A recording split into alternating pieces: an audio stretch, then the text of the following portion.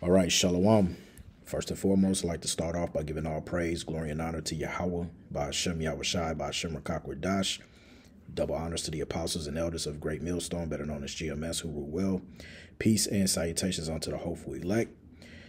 And for the second try, because I did a whole 50 minute video the first time, only to find out only 12 minutes of the video was recorded.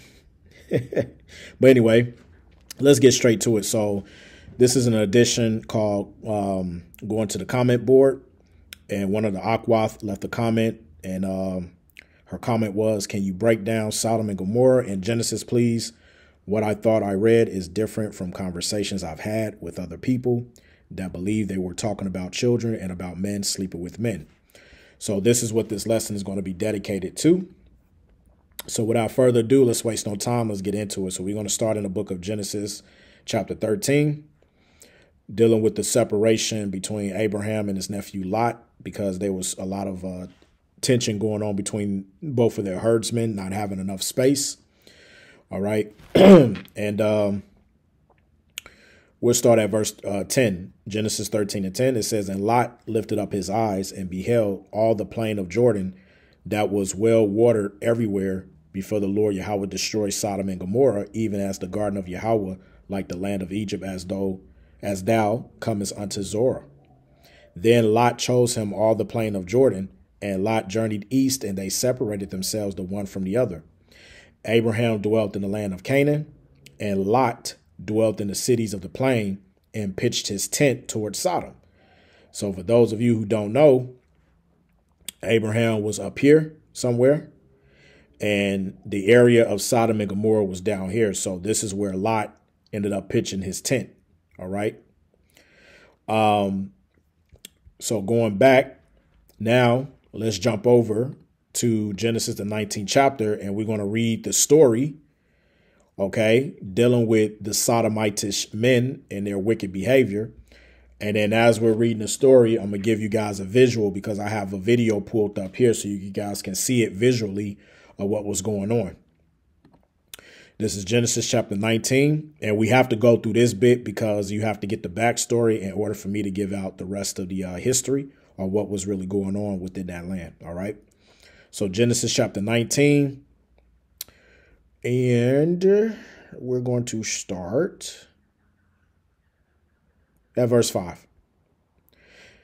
It said, actually, we'll start at verse 4. It says, But before they laid down, meaning uh, Lot and everybody in his household, the men of the city, even the men of Sodom, compassed the house round about, both old and young, all the people from every quarter. All right. And this is what they did. This is the men of Sodom charging through the house of Lot, because when you go back at the top of the um, the chapter, it says in verse one, and there came two angels to Sodom at even, and Lot sat in the gate of Sodom, and Lot seeing them rose up to meet them, and he bowed himself with his face toward the ground. And he said, Behold, now, my lords, turn in, I pray you, into your servant's house, and tarry all night, and wash your feet, and ye shall rise up early and go on your ways. And they said, Nay, but we will abide in the street all night. So these are the two men who were actual angels, okay? Because remember, the scriptures talk about that we entertain angels unawares. That's in the book of Hebrews, right? So Lot didn't know that they were angels of the heavenly Father of the uh, of the heavenly host, okay? Which is another important fact that you always have to be careful of who, you know, what you say or what you do around people because you could be entertaining an angel. All right. But just to get back to the point, so the two men that these uh all right, these um sodomites that were coming out after, they were coming after the angels that Lot ended up taking it into his household. So let's continue to read. It says, verse um, 5 And they called unto Lot and said unto him, where are the men which came into thee this night? Bring them out unto us that we may know them. Okay. Now, what does it mean to know them? Meaning that they want to have sex uh, with them. And can we prove that?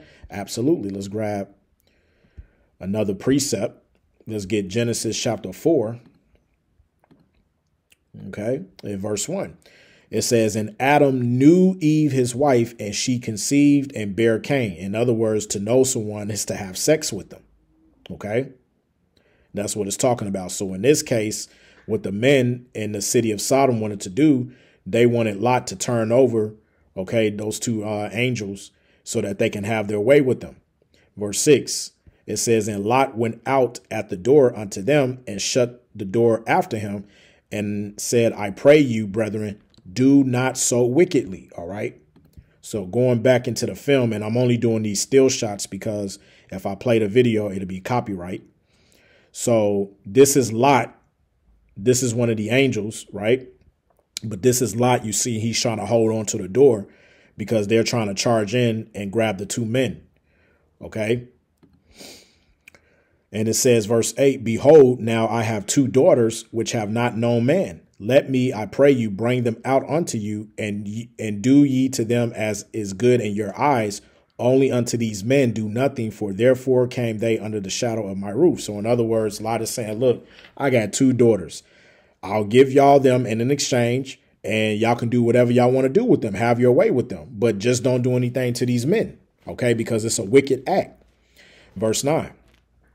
And they said, Stand back and they said again, this one fellow came in to sojourn, and he will needs to be a judge. Now will we deal worse with thee than with uh, with them?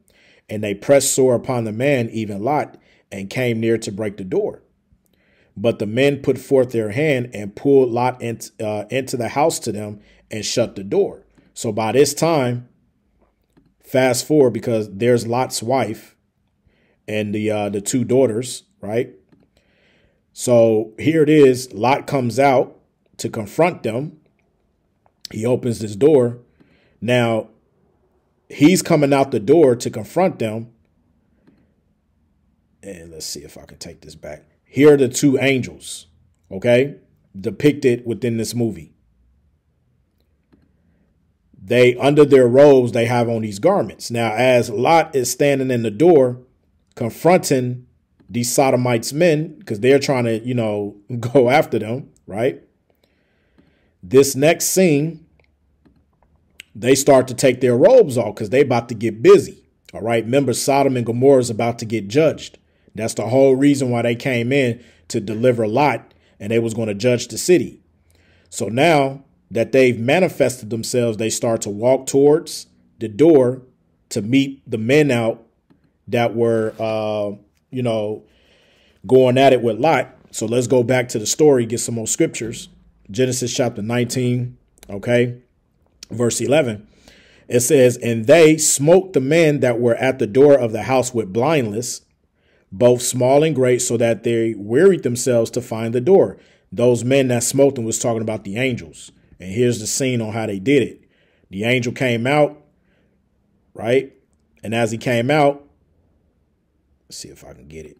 He looked up, okay, to the heavenly host. And the moment he looked up, see, they started to laugh and giggle because they they're thinking to themselves, it's just two of y'all, y'all outnumbered. We're gonna we're gonna get them buttocks, right? Long story short, angels starts to look down on them. All right, spiritual powers come and they started bleeding from their eyes. They were smoked with blindness. All right, you see that? They holding their eyes. They're in severe pain. Okay. The angels uh, worked a mighty work. Okay. Now, verse 12 it says, And the men said unto Lot, meaning the angels, Hast thou here any besides son in law and thy sons and thy daughters and whatsoever thou hast in the city? Bring them out of this place, for we will destroy this place, because the cry of them is waxing great before the face of Yahweh and Yahweh had sent us to destroy it. Okay. So fast forward. Um, verse 15 it says, And when the morning arose, then the angels uh, hastened Lot, saying, Arise, take thy wife and thy two daughters, which are here, lest thou be consumed in the iniquity of the city. So at this point, fast forwarding, the angels, okay, they defend Lot to try to get him out of the city. Okay, they start fighting these sodomitish men. Okay, there's Lot, his wife, and the two girls. All right. Now, when you get to the uh end close to the end of the scene, here they're making their way out. Okay, and now the Heavenly Father starts to bring the rain of the fire. Okay, which is the next part. Verse 17, and it came to pass when they had brought them forth abroad that he said, Escape for thy life, look not behind thee, neither stay thou in all the plain, escape to the mountain, lest thou be consumed. So in this part right here, this is when the angel said that to um to Lot and his family. But the key thing within the verse was they told him as the city is being destroyed, don't look back, right? But who looked back? Said right here. it says, verse 24 Then the Lord Yahweh rained upon Sodom and Gomorrah brimstone and fire from the Lord out of heaven, and he overthrew those cities and all the plain and all the inhabitants of the cities and that which grew upon the ground. Okay, and as you can see in the background, see if I can get a better shot. The fire is is, is destroying Sodom and Gomorrah, man. Right? But what about here? Verse 26. But his wife looked back from behind him and she became a pillar of salt. Okay. And that scene of her being a pillar of salt. Okay. Is right there. She looked back. Her ass didn't listen. Right.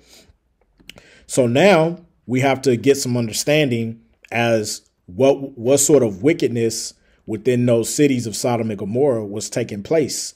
Well, first off, let's look up the word um, sodomite, right? Which is Strong's H sixty nine forty five. Kadesh. Kadesh. And it says here a male temple prostitute. Okay. It says sacred person, i.e., technically a male devotee by prostitution to licentious idolatry, sodomite, unclean.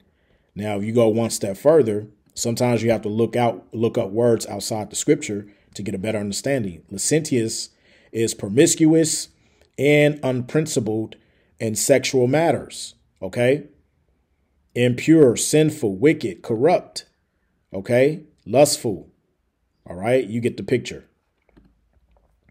So when we have a read down here in the Gesenius Hebrew Chaldee lexicon, it says a sodomite consecrated, SC, to Astarte or Venus and prostituting himself in her honor. And why is that? Because during the time within that region, okay, the uh, Sodomites, they were actually worshiping the god of Astarte, okay, which is the same person as uh, Semiramis going all the way back to the Tower of Babel. Okay, you had Semiramis and her, uh, which was her son, Nimrod. Okay, Astarte represented Semiramis, and then the other god that they worship, which was Baal, okay, represented Nimrod. Okay, and in honor of worshiping Astarte, they will commit certain sexual immorality acts, okay, which we're going to grab in this article I have lined up here. But first, before we do that, a little bit of uh, information on Astarte, and this is from uh, Britannica.com, so you can look this up on your own. Okay.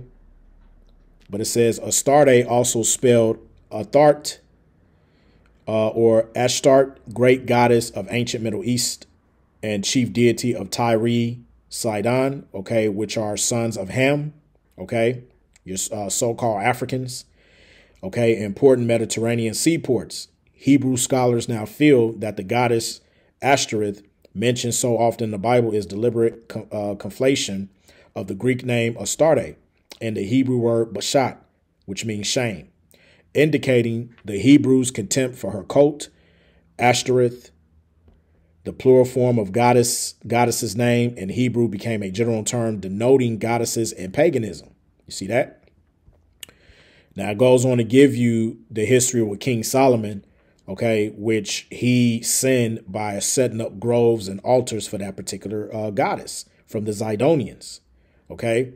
And also she was known as the Queen of Heaven, to whom the Canaanites burnt offerings and poured uh, libations. You can get that in Jeremiah, the 44th chapter.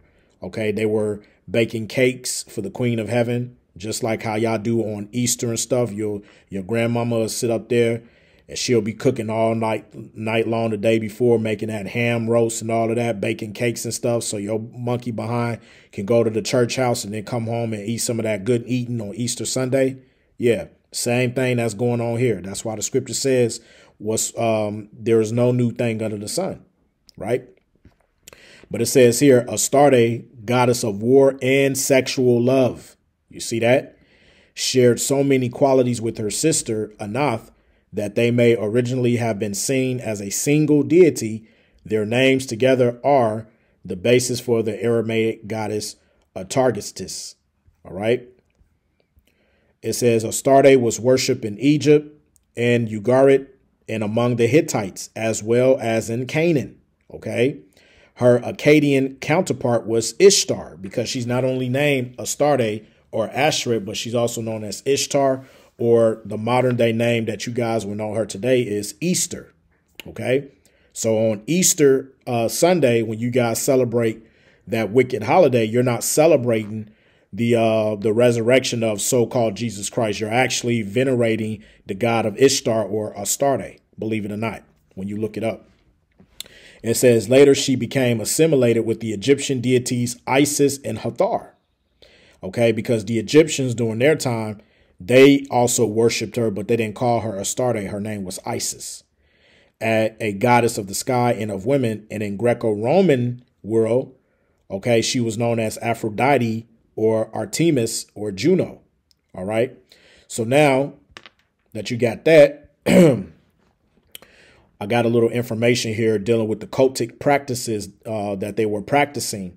Okay. These uh, people within Sodom and Gomorrah, or just the overall nation of Canaan. It says Baal's worshippers appeased him by offering sacrifices, usually animals such as sheep or bulls. Some scholars believe that the Canaanites also sacrificed pigs and that God prohibited his people from eating pork, in part to prevent this horrible cult from being established among them. Okay, and then gives you the precepts. It says, at times of crisis, Baal's worship uh, or followers, Salakia, sacrificed their children, apparently the firstborn of the community, to gain personal prosperity. It says the Bible called this practice detestable, and it gives you precepts. It says God specifically appointed the tribe of Levi as his special servants in place of the firstborn of the Israelites, so they had no excuse for offering their children.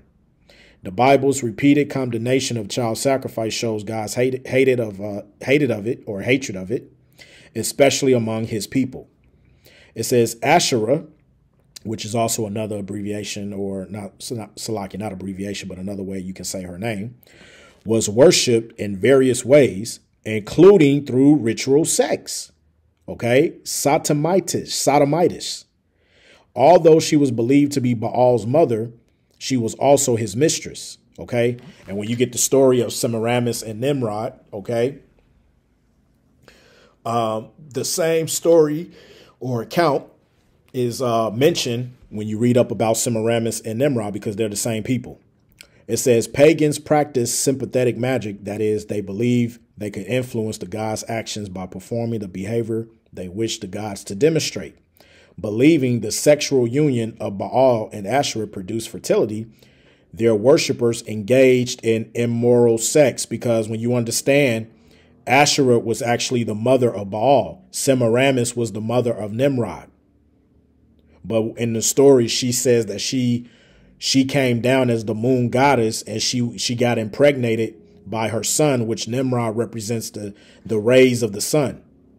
Okay, so that was a form of Im, uh, immorality of telling the people that they they in order to reverence her they will have to commit such acts. Okay, so it says their worshippers engaged in Im, Im, uh, immoral sex to cause the gods to join together, ensuring good harvests. This practice became the basis for religious prostitution. The priest, or a male member of the community, represented Baal. The priestess, or a female members of the community, represented Asherah. In this way, God's incredible gift of sexuality was perverted to the most obscene public prostitution. No wonder God's anger burned against his people and their leaders, right? Because eventually, when we got around those nations, we started going off and committing such acts. Okay. So, just to give you an example, let's go to Leviticus, the 18th chapter. because we had laws. Now, the title of it says Laws on Immoral Relations. Now, let's have a read. It says, And Yahweh spake unto Moses, saying, Speak unto the children of Israel, and say unto them, I am Yahweh your power. After the doings of the land of Egypt, because Egyptians were practicing such wicked acts, wherein ye dwelt, shall ye not do. And after the doings of the land of Canaan. You see that? Whither I bring you, shall ye not do, neither shall ye walk in their ordinances. Now, when you read this whole chapter, it goes into those ordinances that these um, Hamitic uh, nations actually practice. And one of the biggest one of them was incest amongst their own family members, next closest to their kin, bestiality. Okay, verse 22, thou shalt not lie with mankind as with womankind. It is an abomination. Okay, homosexuality. Okay, this is the reason why the Heavenly Father okay, told us, he gave us the blueprint of what not to do, but we didn't listen. We started doing those wicked acts. Okay. So going back, let's get uh let's get the blue letter, Wisdom of Solomon, chapter 12. We're going to start at verse 3. It says, For it was thy will to destroy by the hands of our fathers both those old inhabitants of the Holy Land. Now, who was the old inhabitants of the Holy Land before we came into it? Let's get Deuteronomy chapter 7. And starting at verse 1, it says, When the Lord Yahweh thy power shall bring thee into the land, whither thou goest to possess it, and have cast out many nations before thee, the Hittites, the Girgashites, the Amorites, the Canaanites, and the Perizzites, and the Hivites, and the Jebusites, seven nations greater and mightier than thou. Okay. Those nations that were in that land all go back to Ham. Okay. They're Hamitic tribes the so called Africans. And when the Lord Yahweh thy power shall deliver them before thee, thou shalt smite them and utterly destroy them. Thou shalt make no covenant with them, nor show mercy unto them. Okay? And it tells you why when we go back and read Wisdom of Solomon, the 12th chapter.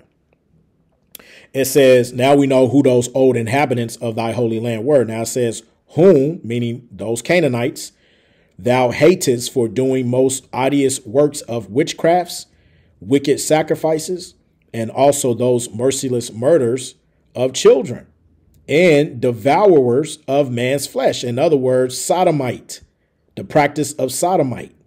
Okay? And the feast of blood with their priest out of the midst of their idolatrous crew, because remember, we read they had right here the priest or a male member of the community represented Baal, okay, which is one of the deities that they worship in Sodom and Gomorrah. Okay? It says, with their priest out of the midst of their idolatrous crew, and the parents that killed with their own hands souls destitute of help, that the land which thou esteemest above all other might receive a worthy colony of God's children, right? Because we were promised through our forefather Abraham that we was going to inherit that land. It says, Nevertheless, even those that spared us as men and did send wasp forerunners of thine uh, host to destroy them by little and little, not that thou wast unable to bring the ungodly under the hand of the righteous in battle, or to destroy them at once with cruel beasts or with uh, one rough uh, word, but executing thy judgments upon them little by little, Thou gavest them place of repentance, not being ignorant that they were a naughty generation. Okay? And that their malice was bred in them, and that their cogitation would never change. Why? For it was a cursed seed from the beginning. Who is this talking about? Well, it's talking about the Canaanites. How do we know? Go back to Genesis, the uh, ninth chapter. Genesis chapter 9, and we're going to start at verse 20. And let's read how they became a cursed seed. It says, And Noah began to be a husbandman, and he planted a vineyard, and he drank the wine and was drunken, and he was uncovered within his tent. And Ham, the father of Canaan, saw the nakedness of his father and told his two brethren without. And Shem and Japheth took a garment and laid it upon both their shoulders and went backward and covered the nakedness of their father. And their faces were backward, and they saw not Salakia. And they saw not their father's nakedness. And Noah awoke from his wine, and he knew what his younger brother, uh, Salakia, he knew what his younger son had done unto him. And here's the point, verse 25. And he said, Cursed be Canaan, a servant of servants shall he be unto his brethren. Because it started with Ham. Ham uncovered his father's nakedness. Now, what does it say in the law? Let's go back to Leviticus, the 18th chapter. And Lord's will, this lesson is edifying. Leviticus chapter 18, verse 6. None of you shall approach to any that is near of kin to him to uncover their nakedness. I am Yahweh. The nakedness of thy father or the nakedness of thy mother shalt thou not uncover. She is thy mother. Thou shalt not uncover her nakedness. You see that?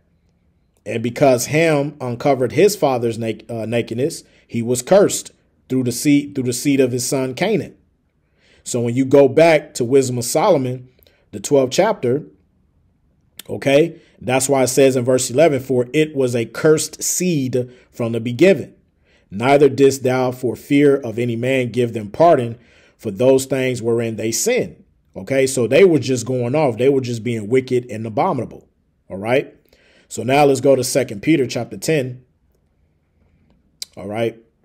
And we'll start at verse 9. It says, The Lord knoweth how to deliver the, uh, the uh, godly out of temptations and to reserve the unjust unto the uh, day of judgment and to be punished. But chiefly them that walk after the flesh in the lust of uncleanness and despise government, presumptuous are they, self willed. They are not afraid to speak evil of dignities. Why? Because the same people, even today, that practice sodomite, okay, uh, the alphabet communities going out speaking evil, saying that, you know, it's all love. We need to just love one another. Come, do as thou wilt. Okay. All of that for the sake of speaking evil because they think that it's right within their own minds, right?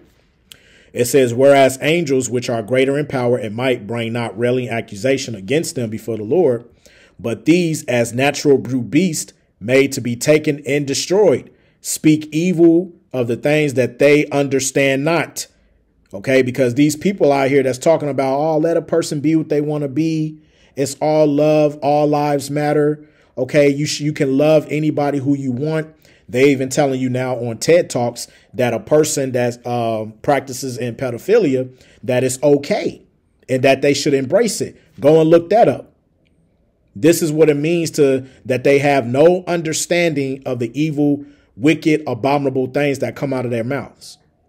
It says, and shall utterly perish in their own corruption, and shall receive the reward of unrighteousness as they that count it pleasure to riot in the daytime. This is why you see they go out there, talk about all lives matter, the alphabet community, they're marching in the streets, uh, look at the whole Roe versus Wade with the abortions, my body, my right, all of that nonsense, right?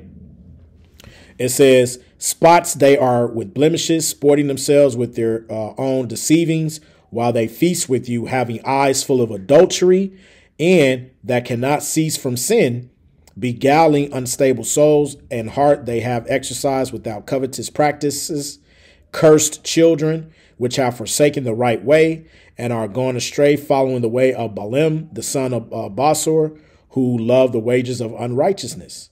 Okay, that's why it tells you in Romans, let's grab Romans chapter 1.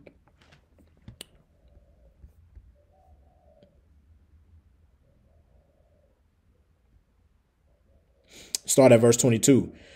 Professing themselves to be wise, they became fools and changed the glory of the uncorruptible power into an image made like to corruptible men, and to birds, and four footed beasts, and creeping things. Wherefore, the Most High also gave them up to uncleanness.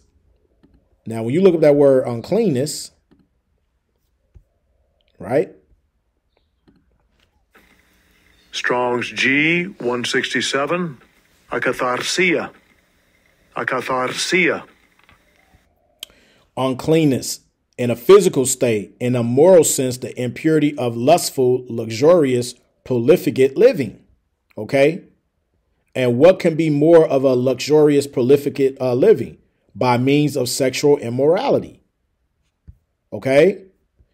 When you go further into the words, because some of y'all be like, that's not what it said there. Well, go and look up the words and it'll go back to that.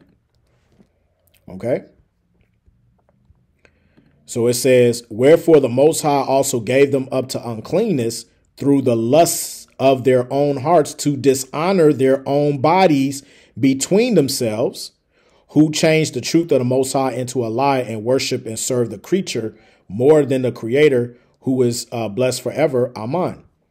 For this cause the Most High gave them up unto vile affections. That's why you have certain diseases like AIDS, HIV, different sexual transmitted diseases, right? For even their women did change the natural use into that which is against nature, lesbianism. And likewise, also the men, leaving the natural use of the woman, burnt in their lust one toward another, men with men working that which is unseemly, and receiving in themselves that recompense of their error, which was meat. So that's why the Most High gets on a lot of people, okay, that practice uh, sodomite, okay. Those uh, a lot of people will sit up there and they'll they'll either die a horrible sexual transmitted disease type of death, okay, or they'll have some sort of illness or whatever because that's the Lord's way of judging them. It says, and even as they did not like to retain the Most High in their knowledge, the Most High gave them over to a reprobate mind. That's why you have a lot of our people that can't get out of that mindset because the Heavenly Father, okay, has pretty much given them a state of mind to where their mind has been completely sealed. They're fixated on thinking that this is the right thing to do when it's not. And the scriptures tells you that the, the that the deceive and the deceiver are his. So if he wants you to be deceived and if he doesn't want you to have the truth, he's going to give you over to a reprobate mind. And that is the worst thing to be in, man. It says here, the Most High gave them over to a reprobate mind to do those things which are not convenient, being filled with all unrighteousness, fornication, wickedness, covetousness, maliciousness, full of envy, murder, debate, deceit, malignity, whisperers. Let's look up that word fornication.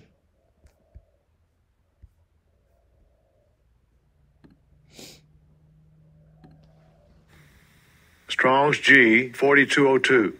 porneia. porneia. And it says here illicit sexual intercourse, adultery, fornication, homosexuality, lesbianism, intercourse with animals, all to the which you can find. It also says sexual intercourse with close relatives, which they would call what? Incest. And where do we find all of these? In the law. Going back to Leviticus, the 18th chapter. Once again, when you read verse 3, it says what? After the doings of the land of Egypt, wherein ye dwelt, ye shall ye not do. And after the doings of the land of Canaan, whither I bring you, shall ye not do. Why? Because those nations were committing such abominable acts. And what happened when we joined unto those nations, we started to go off and we started to commit those same abominations.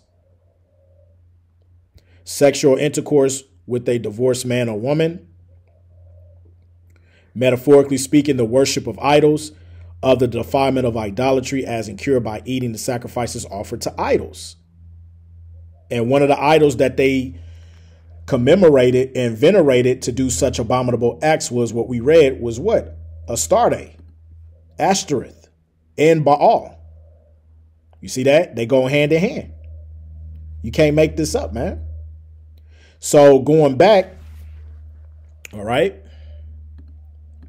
What else? It says, verse 30 backbiters, haters of the Most High, despiteful, proud boasters, inventors of evil things, disobedient to parents, without understanding, covenant breakers, without natural effect, affection, implacable, unmerciful, who knowing the judgment of the Most High, that they which commit such things are worthy of death, not only to do the same, but have pleasure in them that do them. And you got people right now that's in that spirit that they have pleasure in just doing those wicked, abominable things. Now, when you grab, let's see here. Let's grab First Corinthians, the sixth chapter. It tells you, verse 9, it says, Know ye not that the unrighteous shall not inherit the kingdom of the Most High? Be not deceived, neither fornicators, nor idolaters, nor adulterers, nor effeminate, nor abusers of themselves with mankind, which everything we read of these goes back to the law. Nor thieves, nor covetous, nor drunkards, nor revilers, nor extortioners shall inherit the kingdom of the Most High. Now, when you look up fornicators within this context of this uh, scripture here, it's a different word. Strong's G 4205. pornos. pornos. Which goes back to uh, uh, Kadesh or Kadash. No, not Kadash, Shalaki. Kadesh, which was the, the word we looked up for um, sodomite, right? Which it was, again, a male temple prostitute, where this time, when you look up fornicator, a man who prostitutes his body to another's lust for hire. A male prostitute, a man who indulges in unlawful sexual intercourse, a fornicator. Okay? A whoremonger. And this is what they were doing, all right, in Sodom and Gomorrah. Okay? Those was one of the main abominable acts that they were doing, man. Okay, so let's close it up. Let's get one more precept in the book of Jude.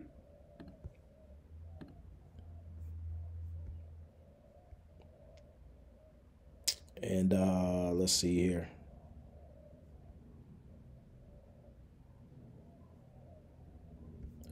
Do, do, do, do, do. Was it Jude or was it Salakia?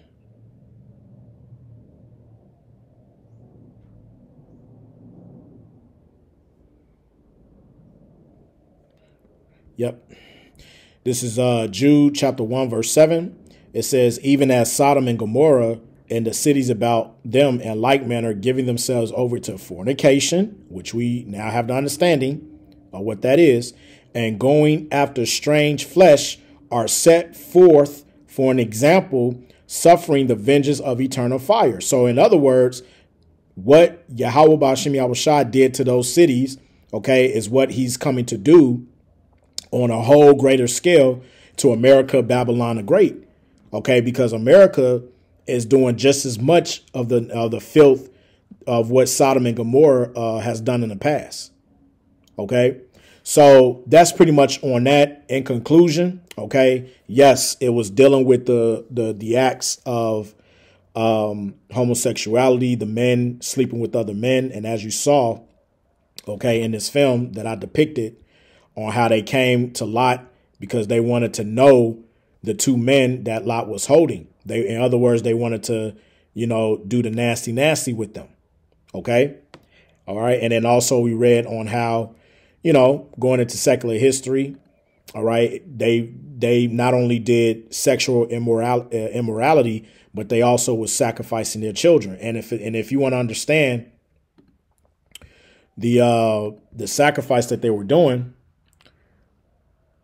when you look up, uh, images, this was the God, the deity that they were sacrificing their child. Okay? They will go, they will go up, hand the child over. Around here will be an opening to where the child will drop into the this little pit, and this pit will uh, be a, burning sacrifice area where the children's were uh, will be sacrificed through fire. Okay. So, you know, this is the deity that they were worshiping in the land. Now, when you get um, Astarte, this is a sacrifice Astarte. Okay, this is how she was depicted. Okay, naked, showing her breast. Here's another image here, right? And remember, she was the goddess of love and sexual immorality. All right, and it tells us that in order for um, the people in that land for them to get a blessing, they felt compelled, well, not compelled, but they felt that they had to commit such acts so that they can get a blessing. And this is the reason why the Heavenly Father told us to stay away from them and don't take after the mannerisms of what they do. Jeremiah chapter 10 and 2 learn not the way of the heathen. All right. here's another picture. Okay.